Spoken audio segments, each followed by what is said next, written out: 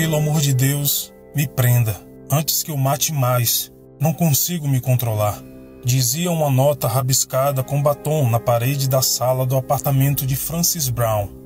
A polícia encontrou a mulher morta com uma faca de pão encravada no pescoço. A nota foi a primeira pista encontrada pela polícia do que se tornaria uma série de assassinatos, sensacionalizada pela imprensa de Chicago e cometida por um predador esquivo e misterioso, apelidado de o assassino do batom.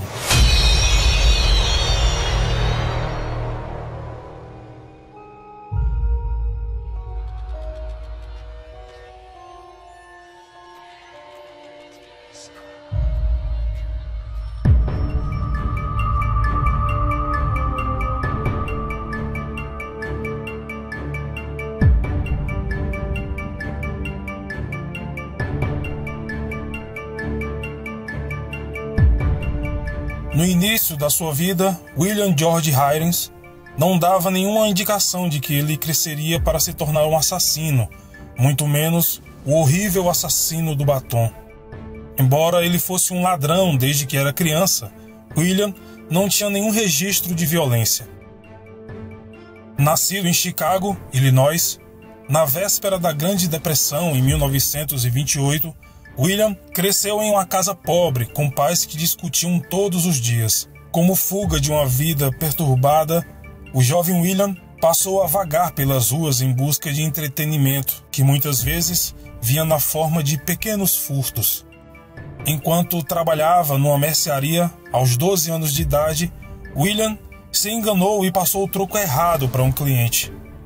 Para compensar o seu descuido e com medo de ser punido pelo patrão, ele roubou uma nota de um dólar de um apartamento ao lado da mercearia, entrando por uma janela semi-aberta. A partir daí, ele ganhou confiança para roubar somas maiores e, posteriormente, itens pessoais. Eventualmente, William tinha uma pequena coleção de itens roubados que variavam do caro ao mundano, como câmeras, coquetéis, armas e até lençóis. Aos 13 anos, ele foi preso invadindo o porão de um prédio local. Essa foi a primeira de uma longa série de prisões que lhe renderiam uma péssima reputação com a polícia de Chicago. Ele era considerado um incômodo. William descrevia seus roubos como um hobby, algo que o mantinha ocupado enquanto seus pais brigavam. Ele acabou sendo enviado para uma escola semi-correcional para meninos em Indiana. No entanto, seu tempo lá se mostrou ineficaz. Assim que saiu da casa de recuperação, ele foi preso novamente. Desta vez, o tribunal recomendou que ele fosse enviado para um instituto particular no centro de Illinois. Embora ineficazes em conter seus crimes, as escolas eram boas para uma coisa. Em ambas as instituições, William provou ser um aluno impecável e tirava notas sempre muito altas em todas as matérias. Tão boas foram suas notas que antes mesmo de completar 16 anos, ele se qualificou para cursos da Universidade de Chicago, como parte de um programa de estudantes talentosos.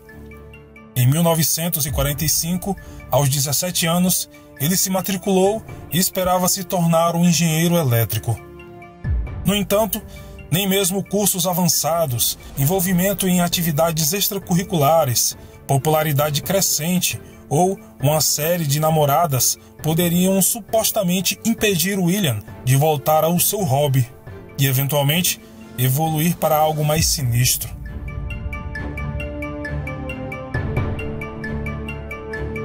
Embora o assassino de Francis Brown tenha sido mais popularizado por causa da mensagem de batom e da horrível cena do crime, na verdade, este teria sido o segundo assassinato supostamente cometido por William. O primeiro veio seis meses antes, em junho de 1945, e nem sequer chegou à primeira página dos jornais locais.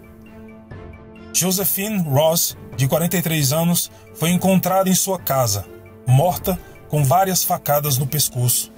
Uma saia havia sido enrolada em volta do seu pescoço e suas feridas haviam sido costuradas. A polícia entrevistou seu noivo e vários ex-namorados, mas todos tinham álibis.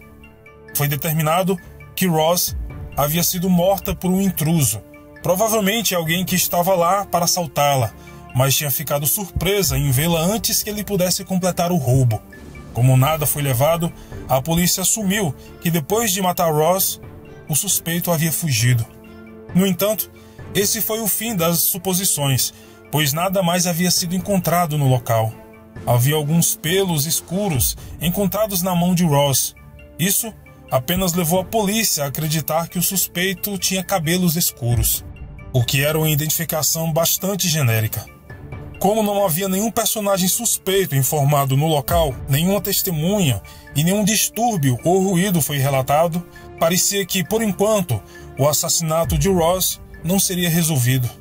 Isto é, até seis meses depois, quando supostamente William cometeria o seu segundo assassinato, aquele que se tornaria o tema mais quente de Chicago e aceleraria as investigações policiais.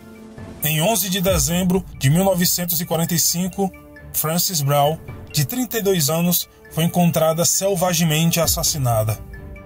Como o assassinato de Ross, o pescoço de Frances estava enrolado, desta vez com a toalha. Além disso, como assassino de Ross, na cena do crime de Frances havia uma surpreendente falta de provas.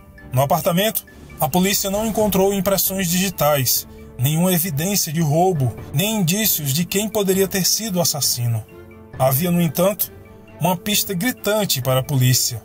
Uma estranha mensagem rabiscada na parede da sala de estar com batom vermelho. Imediatamente, a imprensa começou a espalhar a história que era a capa da primeira página de muitos jornais e revistas, marcando o culpado como o assassino do batom.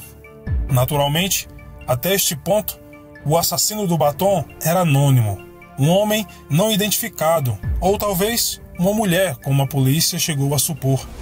Uma cogitação silenciosa tomou as ruas de Chicago. Pouco menos de um mês, a cidade foi mantida em um estado de alerta e terror, instigado pelos jornais de Chicago que esperavam ansiosamente pela próxima cena horrível de crime a ser descoberta. Na primeira semana de 1946, finalmente chegou, quando William, ainda desconhecido e insuspeito, cometeu seu crime final. O terceiro assassinato, supostamente atribuído a William, foi sem dúvida o mais brutal.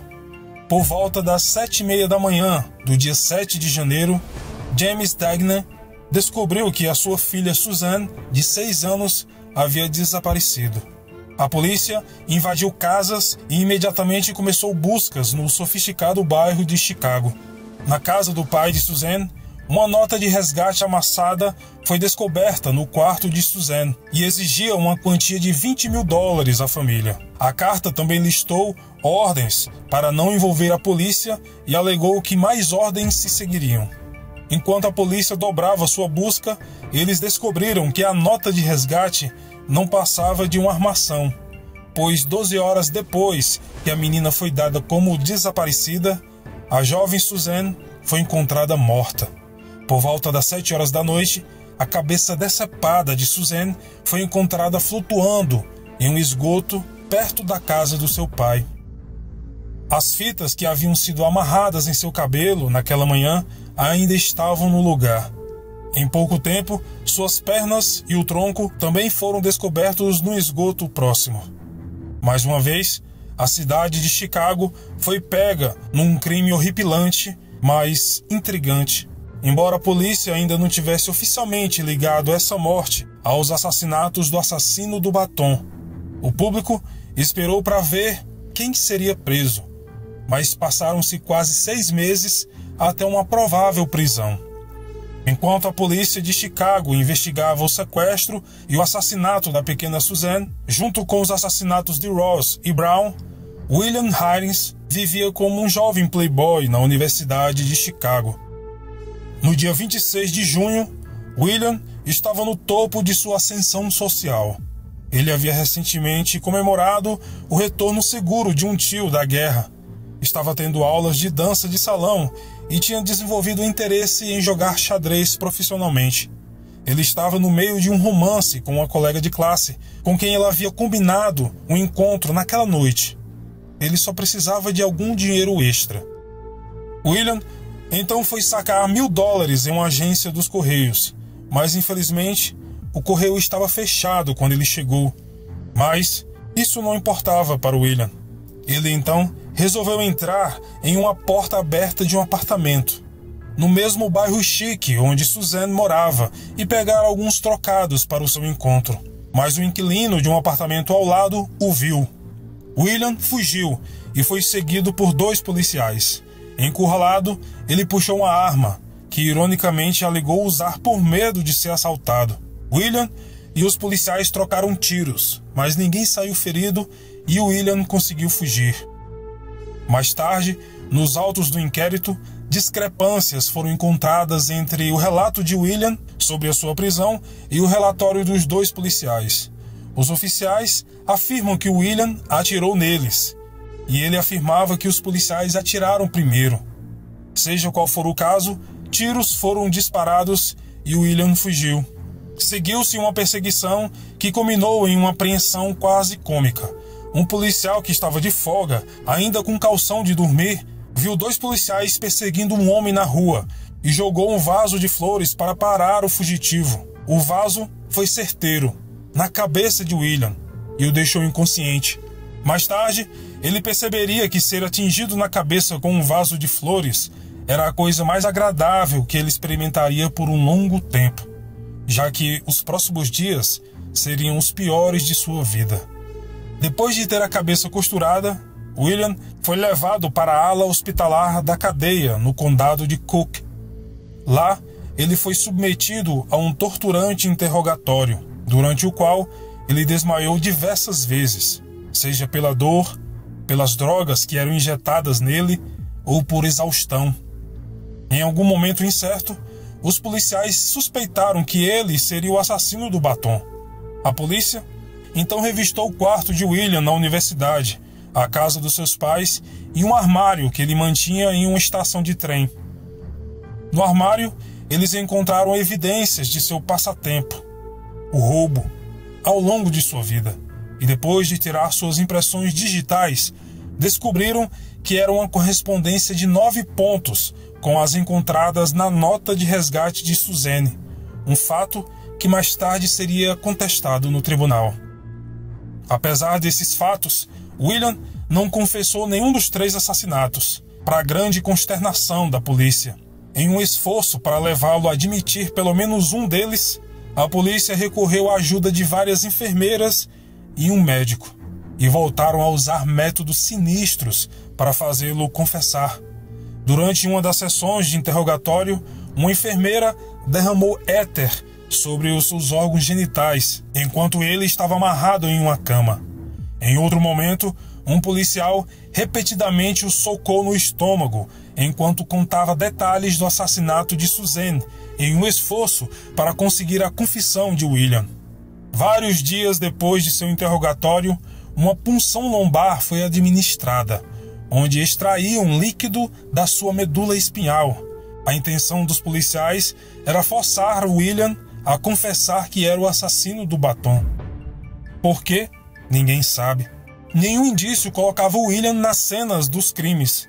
Após a punção lombar, um polígrafo foi ligado nele, mas William sentia muita dor para uma leitura precisa ser avaliada. O médico chegou a injetar em William sódio pentotal, conhecido pelos leigos como soro da verdade, embora nada mais fizesse do que colocá-lo em um estado de delírio e semiconsciência. Depois de quatro dias de tortura, William finalmente começou a murmurar o início de uma confissão. Enquanto estava sob a influência do soro da verdade, e pairava em algum lugar entre a dor excruciante e a inconsciência, William falou o nome de alguém, George, que poderia ser o assassino. A polícia procurou por esse tal George e interrogou os amigos e a família de William, mas, no fim das contas, a informação não levou a nada. O fato de que o nome do meio de William era George levou a polícia de alguma forma, a acreditar que a afirmação era uma espécie de confissão e que ele estava admitindo ser o assassino do batom, mesmo que de uma forma inconsciente. Apesar do fato de que a caligrafia de William não coincidia com a nota deixada na parede de Francis Brown, e o fato de a polícia só ter nove dos 12 pontos de identificação exigidos pelo FBI, necessários para considerar as impressões digitais como 100% precisas, a polícia manteve a versão de que William havia confessado sob tortura. Mesmo com algumas enfermeiras contratadas pela polícia não terem concordado 100% com sua confissão, a polícia acusou William George Hines como o assassino do batom. Em 12 de julho de 1946, sete dias após a sua prisão oficial, William foi indiciado por agressão com intenção de matar, roubo, 23 acusações de furto e três acusações de homicídio. Apesar do fato de que o interrogatório foi claramente manipulado, para não mencionar que todos os seus locais de residência e seu armário haviam sido revistados sem nenhum mandato, William concordou em um julgamento completo, apesar de correr o risco de ser enviado para a cadeira elétrica. Em uma entrevista feita em 2008, William disse: Quando você está vivo, você ainda tem a chance de provar que você não é culpado. Então, era melhor eu estar vivo do que estar morto, pois se eles continuassem com o interrogatório, certamente eu morreria em alguns dias. Em última análise, depois que o promotor público lhe conferiu três sentenças consecutivas de prisão perpétua, William se declara culpado de todas as três acusações de homicídio. Mais tarde, ele revela que só confessou porque temia por sua vida e tinha medo do que aconteceria caso recusasse o acordo do advogado. Sua decisão pode tê-lo salvado da cadeira elétrica, mas acabou lhe custando o resto de sua vida. Durante 65 anos, William ficou encarcerado e enfrentaria um estilo de vida duro em um regime de segurança máxima. O suposto assassino do batom tentou o suicídio três vezes.